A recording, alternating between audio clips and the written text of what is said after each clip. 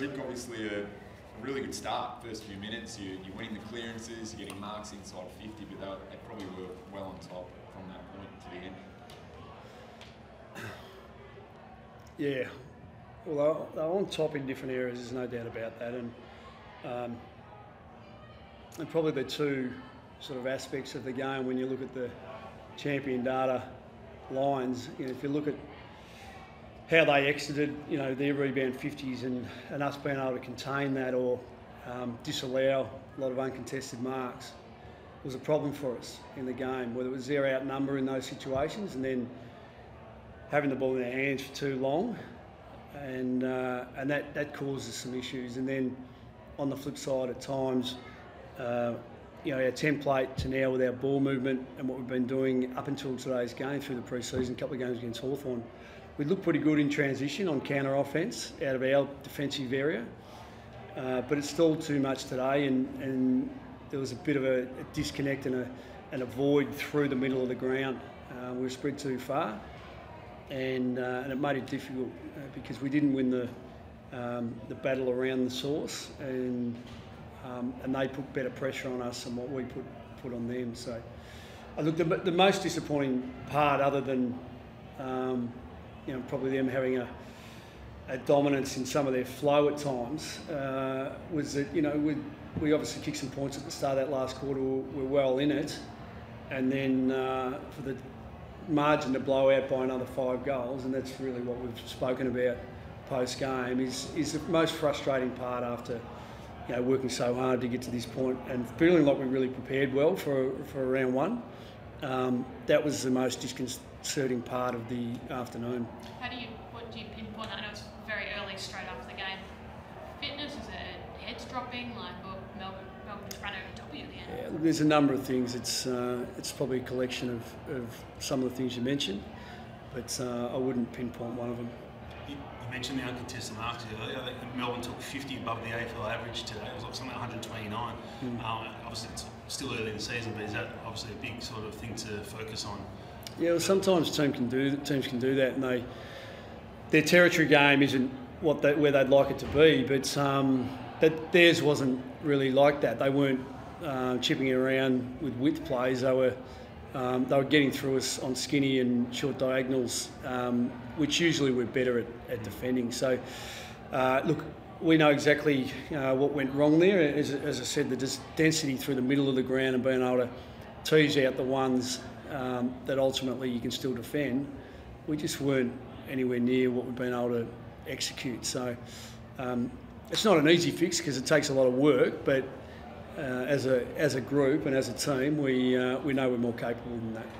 Luke, can I ask you about the decision to make Caleb Daniel the sub as well as leaving Jack Macrae out, even though he'd had those multiple games back from the hand? Yeah, Jack's had two back. Um, one he stepped through gingerly, and then he was he was pretty good uh, the other day.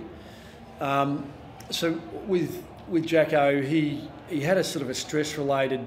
Um, through his femur um, concern over the pre-season, he, he worked really hard in his off-season, and then he had that hamstring that he went down with, and he, he missed quite a bit of training and, and running, and, and his capacity to cover the ground um, needs to be there. You know, and I did. I felt like their midfield um, were able to do that better than us today. So we're just waiting until Jack's totally ready uh, to perform at his absolute best with uh, with the ground cover, and and so he, he's not far away. And yeah, CD, um, yeah, in the roles and responsibilities, he, he plays all of them pretty well. And uh, with the pre-season, some of the guys we've had, uh, they weren't at their best today. Some of the boys have been you know, at the top of their game really in recent times.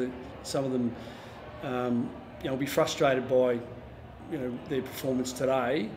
Uh, he, he's just found himself out of the team, so it's just part of it. And um, you know, ultimately, uh, the team uh, and our ambition is we pick it with a view to to challenge the, the whole competition. And, and I felt today going into the game that we might really challenge Melbourne with our run and getting across the ground. And it was a little bit of a surprise that, that we weren't able to do that. So uh, we'll process that during the week. Can we expect to see Jack Macrae playing next? I know you said not far away, but it's probably too early to selection, all those sorts of things. Too early. We'll work through that during the week. What about Daniel? Does he get a full game next week? Uh, we'll see.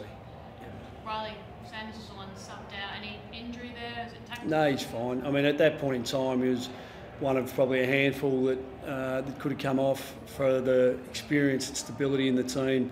Riley's going really well. He's going to be a tremendous player for the club.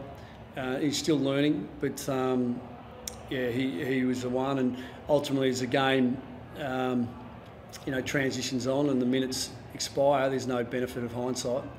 So uh, we'll look after him and make sure he, he heads into next week with a positive mindset. Buku was one of the, the uh, bright spots today. Did a pretty good job on Ben Brown. What what do you Yeah. make his performance?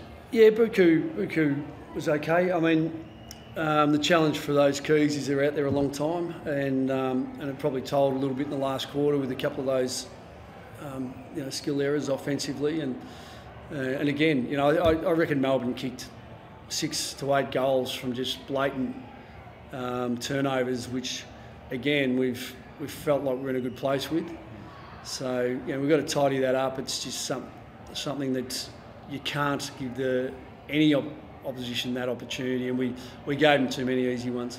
Was that why Sanders was subbed out? Like he, he'd only just had his fourth turnover not long before that. Yeah, it was just it was a coincidence. Definitely not definitely not the reason. Look, can I ask you about the score review system? It really seems to like come into sharp focus today. There's, uh, from my eyes, looked almost all of them just unnecessary, and five in the first half, four in the first quarter. Um, how did you see it? Were you frustrated by it, and what can be done about it? Yeah, look, I'm trying not to. I, I'd rather not comment too much. I think when, when they go to score review, um, you know, I, I'm a bit apathetic towards it.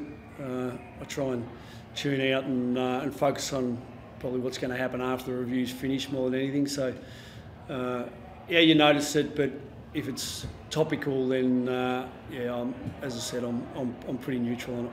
Were you at all, player, but were you at all surprised at the level Clayton Oliver was at today? He looked unplayable in a couple of. Oh, well, I think all the stuff that I've spoken about, you know, with our um, inability to, to stop chains and, and stop some of their uh, their, their slower build up. Um, you know, Clayton's a very good stoppage player as well, but it, it fueled a, a game uh, for him as well. And I'm not surprised. He's a he's he's a great player, but um, but ultimately, you know, I think when a when a mix from the opposition has some impetus and some momentum in the game, there's always someone from that mix that's going to um, possibly get off the chain. And when you're chasing score, uh, to you, you make that decision around negating and, and striking a balance offensively, and uh, and we, we couldn't get the balance totally right today.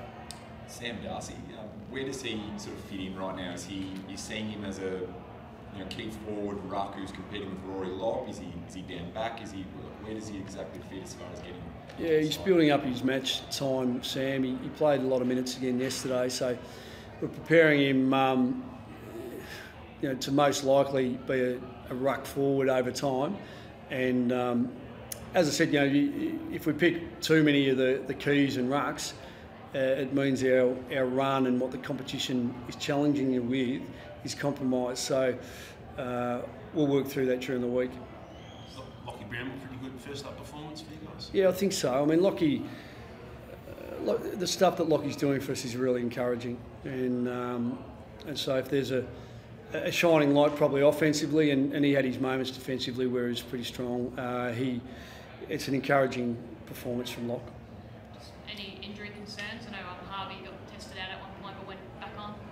Yeah, he seems to be fine, Anna. So that's always a plus when you come out of a game, and you, you haven't got too much um, turmoil or uh, or anything to worry about there. We, I think most of the boys have come through okay. What do you make of Harvey, Harvey on debut today? Sorry, mate. What do you make on What do you make of Harvey's game on debut? Got a nice goal in the first quarter. Yeah, I think you know he had his moments. Gags, Harvey. He he played on the, on the wing for most of the day, and and wasn't a lot of possession from um, from the wingers in the game from either side. And uh, but we switched him in that, that inside uh, brigade in the last quarter. I felt he I felt he did some really good things in that last quarter. So you know now it's about building up experience and exposure, and uh, he, he went okay. Thanks. Thanks.